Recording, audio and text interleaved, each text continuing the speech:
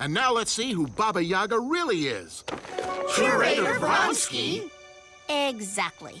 He was using Baba Yaga's house to smuggle stolen Fabergé eggs into the country. That's right. I was going to sell them on the black market. Finally, I was to be a rich capitalist with all my loot.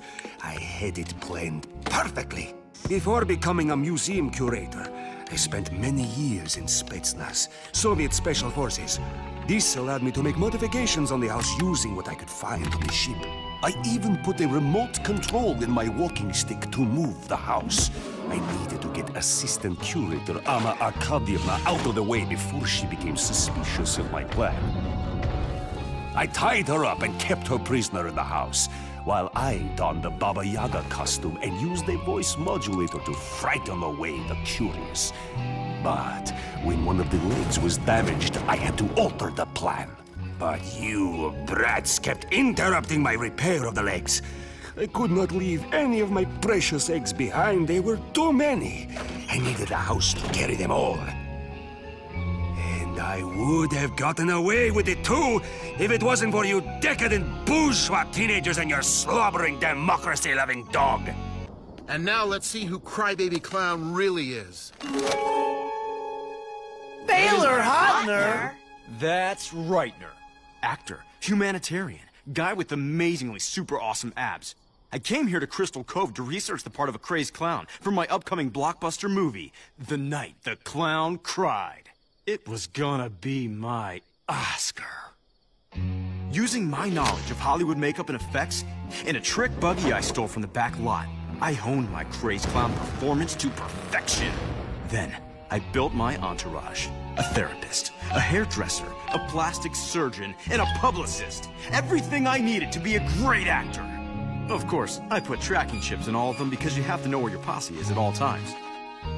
I even had an innocent small-town girl that would make me look like the nicest guy. I had it all! And I would have been the world's greatest Hollywood thespian, too, if it hadn't been for you small-town scene stealers.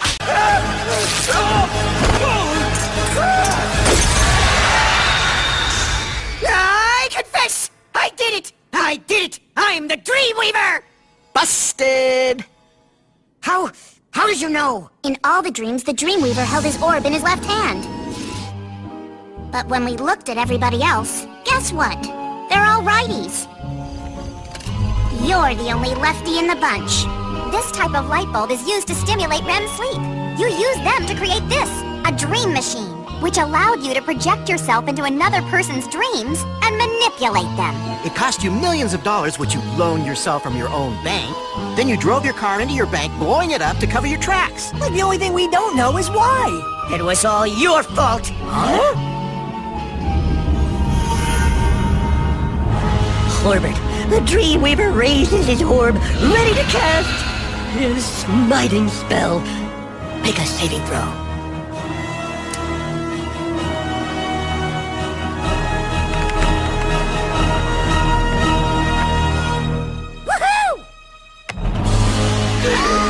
The Dreamweaver laughs as he casts your broken, lifeless elven body into the eternal abyss. I loved that elf. I loved him more than my own children! And you took him away from me.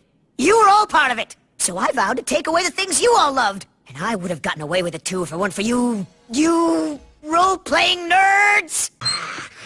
Roberto! Where's my Nova? Hold on. A monkey? That's right. My monkey. Nobody moves. Or a dog gets it. Nova! Mr. Fussbuster, please, don't hurt Nova. Why are you doing this? It all started back when I was a sailor working the trade boats in Indonesia. I learned you could train a monkey to steal. So that's just what I did. I trained Roberto using bells and used him to build up my fortune. When I rang a bell, he would start taking valuable objects. But he became bell crazy.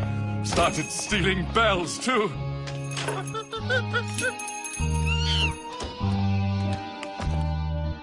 It drove me insane! all of those bells.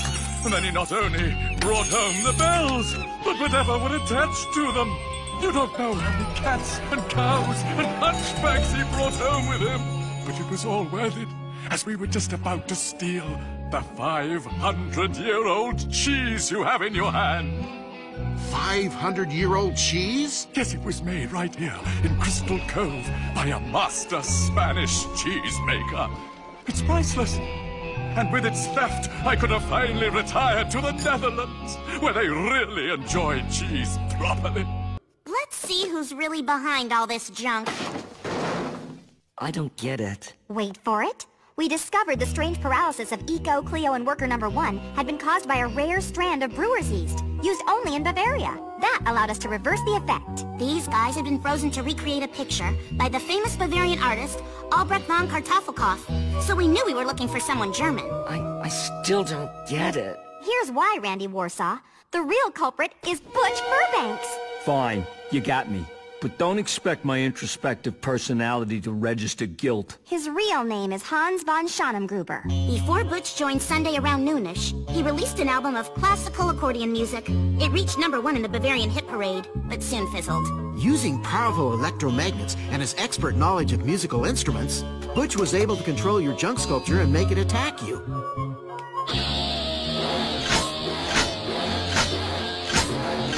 Like the only thing we don't know is why. All right, look, I did it for art.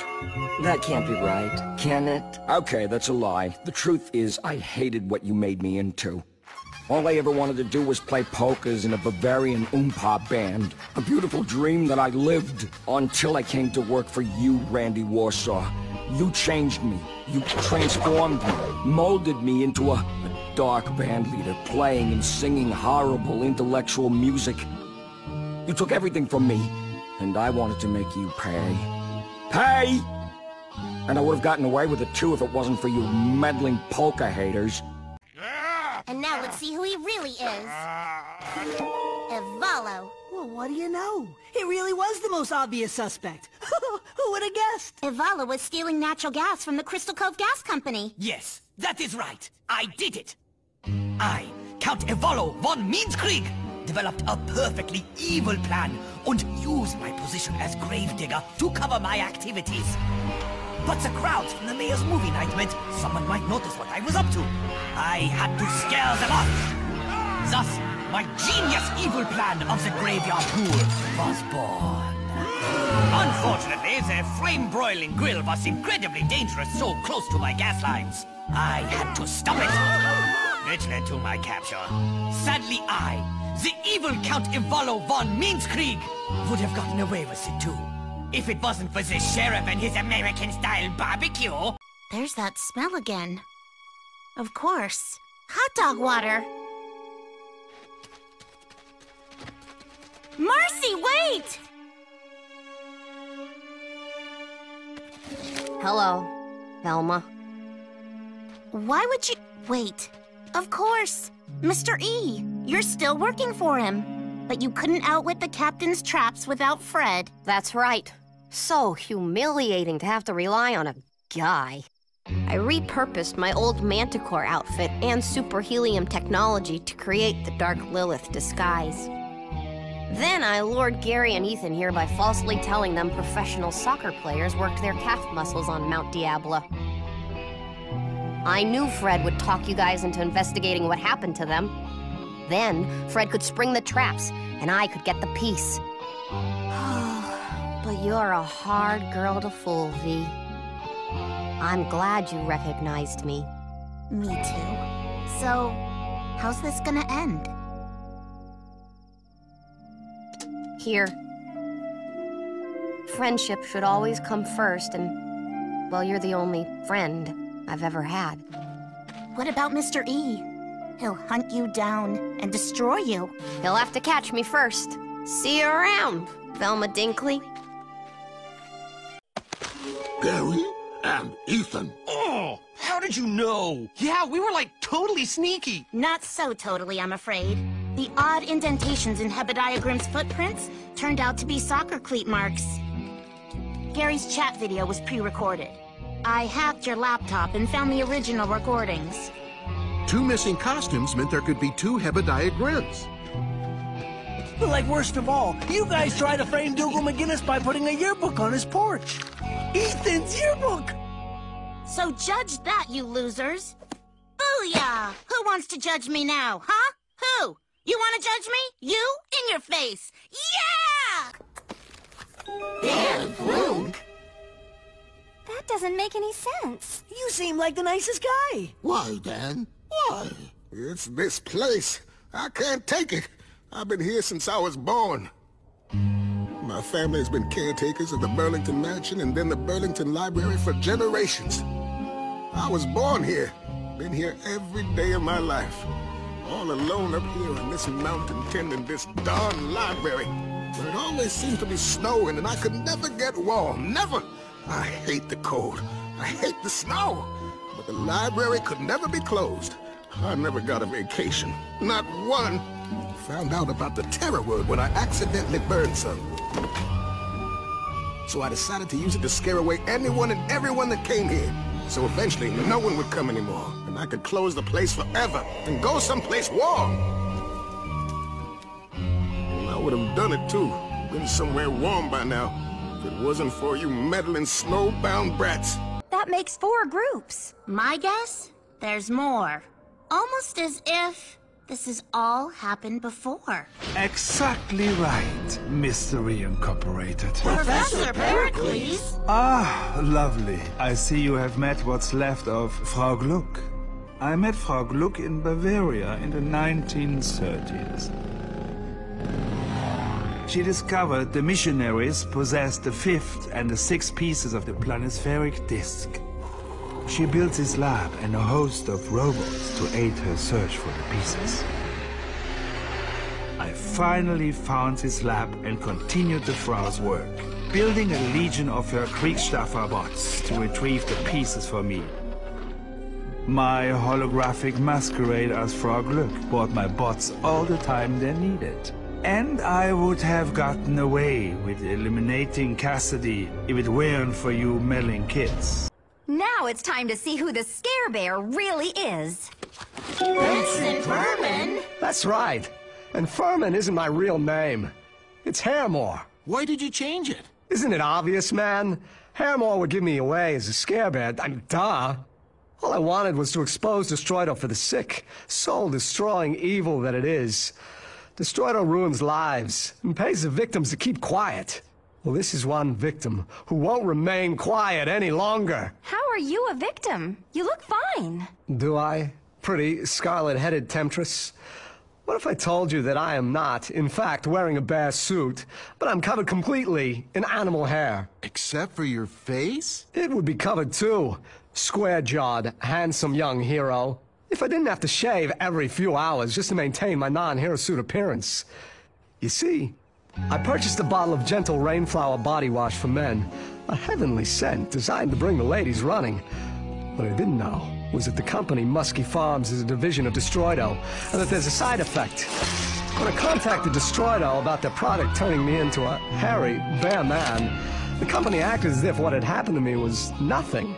They tried to pay me off.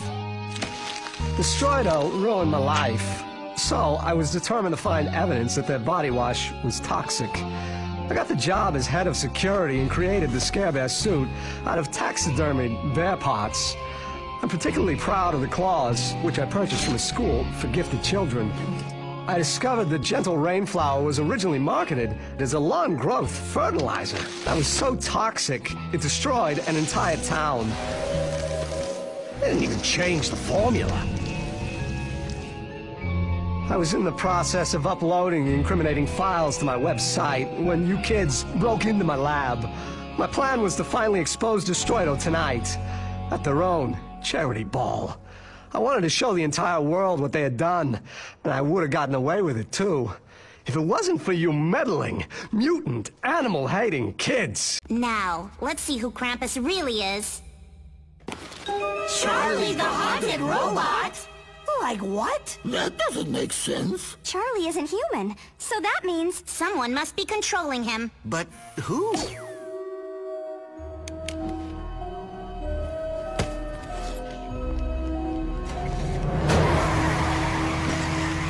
Who's that? Like it has to be the old Mystery Incorporated.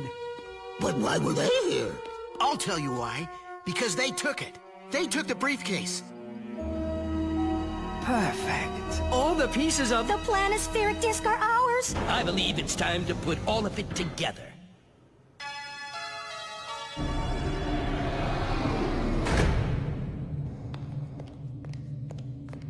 I don't understand. Where are our pieces?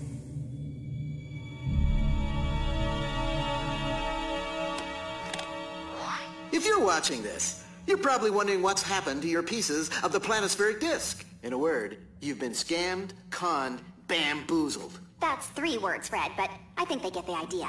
We did this to you. Yeah. And we will be more than happy to tell you how we did it. It was all an elaborate plan masterminded by your very own Freddy. We created Krampus by borrowing Charlie the Haunted Robot and dressing him up in clothes we bought off German gypsies who live in Crystal Cove's haunted forest. As for Krampus moving around, he was being remote controlled by Jason Wyatt, who agreed to help for lenience from the mayor on his mother's sentence. Like Jason also helped create an invisible aerosol that was used to turn hair white and make it grow long for added effect. We needed to keep you away from the vault. You following us, following Krampus, was the perfect way to keep you distracted so we could carry out our master plan, breaking into Mr. E's vault. Freddy planted a bug on Brad Chiles' clothing so that we could get the code to the vault. And once we had that code, We could give it to our operative. Someone with intimate knowledge of Mr. E's lair. Hot dog water. Hot dog water? I still know how to get in touch with her. Like when Velma told Hot Dog Water what we had planned, HDW was in. and while we stole the real pieces, You were stealing fake ones. The real pieces were instead safely hidden with the one person no one would ever suspect. Fred's fake father, the ex-Mayor Jones. My not really my dad dad may have betrayed us once to get the disc pieces, but when he heard what we were planning, he was more than glad to help us take you down. And like Marianne Clearden also agreed to help us after the current mayor offered her lenience on her sentence. she really wants to go back to the seventh grade. I guess I secretly hoped you guys might not try to steal the pieces from us, but I guess I always knew you would. Which leaves me with only one thing left to say. Real mom, real dad, don't expect me home for dinner. Ever. No. Stealing the Quest X was to be a trial run for my greatest creation. The Dragon Battle Suit. So precious was this invention, I trusted only one person to test it. My own daughter. The accident fused the suit to Jenny and has been feeding off of her life force ever since. How did you know? The dragon registered a heat signature on Mr. E's scanners. But why the obsession with Dynamite? Not the dog, the Quest X inside. With that to power the dragon suit, my Jenny would survive. Now let's see who this ghostly monk really is. George Avocados? That's Avoc... Uh, oh, forget it. That's right. It is me. Yes, finally! I knew you'd be the villain eventually. All right, you got me. And I suppose you're wondering, after so many prior Mr. X, why now? Actually, no, not really. We kinda always knew you were evil. Hmm. Okay, fine. Then my tale should not surprise. It all began after I failed in politics. I had no choice but to go into the family business, farming avocados. Everything was going so well until you mystery brats blew up my crops. I then tried my hand at fortune telling. But when that endeavor failed, I fell back on the Avocados legacy of stealing other people's things. I located the Avocados diamond, stolen by my father. Turns out it actually was disguised as a doorknob, not on a door in Crystal Cove, but on a door at the Burlington Library. When I found out it was among the artifacts sent here for the production, I took a job as a janitor. I needed everyone to stay clear of the basement to give me time to look. I hid the body of Friar Serra in a closet and assumed his identity. Knowing this town's gullibility, I knew a ghost story would give me room to hunt. And I would have succeeded, too, if it weren't for Vincent Van Ghoul. What? That might be true if they were really aliens, but they are, in fact, Traveler O'Flaherty, Sheila O'Flaherty, and Connor O'Flaherty. Uh, usually we all recognize the villain and shout out his name in unison. Yeah, Velm. Mind cluing us in? I know all the criminals in Crystal Cove, and these jerks aren't ringing a bell. Like you had a wanted poster for them on your wall. Oh, please. Nobody ever pays attention to those. What is this? The Old West? Were that it were, boyo, oh, then perhaps we could have earned an honest living. When I was a wee lad, we couldn't even afford peat for our fire. So I had to lift it. It turned out I was a right good thief. But then I discovered there were things I could steal other than coal. And wouldn't you know it, my kids had an aptitude for the family business as well.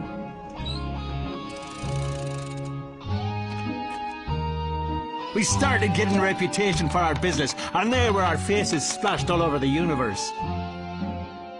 Aye, 'twas then we got the idea for the costumes, because who'd ever say they saw an outer space creature stealing a flat-screen television set? I found out about the Blakes purchasing the Pangea. Seemed like it was right up our alley. And we'd have gotten away with it too if it weren't for you footprint snappers. Now let's see who's really behind the evil ska music. Rude Boy is actually... Rude Boy?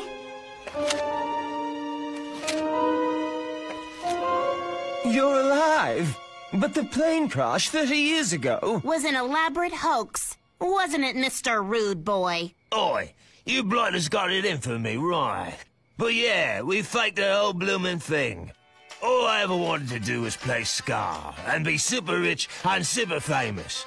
But apparently, it just wasn't in the tarot cards. Maybe the fact that we only had one song had something to do with it. So me and me mates, the Ska-tastics here, we decided we'd fake our own deaths. Then, we could write the perfect song and return to take the music world by storm. I don't understand, Rude Boy. Why did you wait 30 years to make a comeback? Ah, don't be such a muppet, Martha Quinn. We planned to be only gone one year, but writing a perfect song took blooming forever. By the time we cracked it, Ska wasn't popular anymore. But everyone loves the undead, so we began dressing as zombie mods, riding our undead scooters and wearing polycarbonate-lined skull masks to hide our identity. So in the end, desperate for success, Rude Boy and the Ska-tastics unleashed a dancing plague on the world, using an enharmonic chord with special frequencies designed to induce post-hypnotic suggestion to sell their music. Just as I thought, but didn't say. Dance them away, Sheriff. Now let's see who the gluten demon really is. Francie Jackson. Not a big surprise after the work that Kachinga Daphne and I did. Francilee's cooking show wasn't taped before a live audience. She made the tape herself, allowing her to work the special effects of adding in the gluten demon during editing. Plus, her stage name is Francie Jackson, but her birth certificate lists her as Agatha Juniper Scholenheimer. As AJS, she signed those manifests. She rented that secret warehouse. And she has a strange food allergy to all things healthy, which is why she reacted to Kachinga's salad lunch so insanely. The only thing we don't know is why. Oh, y'all, it is so simple. I needed a big comeback. After my cornbread recipe was revealed to have no corn in it, I was ruined. Ruined! My only chance was to open my own bakery, where I could serve up my new breakout dish, the double bacon mayonnaise butter stuffed pasta surprise with buttered bread sauce. Any cook worth their kosher sea salt knows the legend of the gluten demon. I dressed up like that and started destroying every restaurant in town so there'd be no competition when I opened mine. And I would have done it too. Been a huge success again, if it weren't for all y'all bread-hating health fanatics. The librarian? Like, seriously? But you're not even British. I'm so confused. Why? It's simple, really. You spend a life reading about other people's exciting adventures and never, never, never have one of your own. It's awful. I'm so lonely. Jinkies? How did I miss that one? I never really had any friends growing up. All I had were my books. For years, I stayed in my room and read about incredible adventures, other people's adventures. Then, I got an idea. I was going to become the Dandy Highwayman. I was going to be the king of adventures and adored by women everywhere. I studied how to do an English accent. I incorporated a motorcycle helmet into my costume's hat and practiced my motorcycle skills for hours and hours. Then I discovered something unimaginable. The key to a woman's total admiration and devotion. All you have to do is pay attention to them when they're talking. Crazy, isn't it? It wasn't until I started to moderate the book club that I learned how to listen. From there, I actually became interested in what women had to say. Before long, I was fully engaged in their desires and feelings. I was living the dream. And I would have gotten away with it if it weren't for you meddling romance killers. Well, if you're so smart, then who am I really? You're one of the most heartless criminals Mystery Inc. has ever faced. Aren't you, Dad? Ow! It's not a mask, you imbecile. I had plastic surgery to look like you. You would have spotted a mask too quickly. I don't know what you think you were doing. You're supposed to be my father. But how could you try to impersonate me when you know absolutely nothing about me? If he's Brad, that makes you Fred's sneaky criminal mom, Judy. Ouch! Watch it! I had plastic surgery too. I know. Brad Chiles and Judy Reeves? but like why? Yeah, oh, why? For the treasure. What else? It was the genius mind of Professor Pericles that thought up the whole plan, wasn't it, Judy? That's right, Brad. While we went under the knife, Professor Pericles had Mr. E arrange for the Crystal Cove studio to be changed into an exact replica of the town. Except more end-of-the-worldish, obviously. I hate to be the one to point this out, but that's just crazy. Is it, Velma? Or is it so brilliant you cannot begin to fathom its true genius? Professor Pericles? You failed, Professor. You'll never get your filthy talons on this disc. On the contrary, Frederick. You are going to hand it over to me, along with my associates, your dear parents, or else I will destroy the one thing you care about most. Zoinks! Fine. You win. Take it. Excellent. Auf Wiedersehen, you beautiful Kinder. Now, let's see who this monstrous freak really is. It's... it's... Who is that? If I'm not mistaken, it's El Aguirre, the captain of the Spanish conquistadors. El Aguirre? But why? La pura verdad. The truth is simple.